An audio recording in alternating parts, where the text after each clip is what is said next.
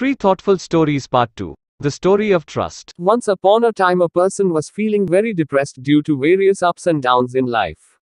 Then he thought to suicide. An idea to see the world one last time arose in his mind and he went outside. While roaming, he saw a father playing with his son. The father would throw the little one very high up in the air. Although the child would laugh and enjoy the dreadful moment. He then got to know that the child was laughing because he knows that there is someone to hold him when he falls.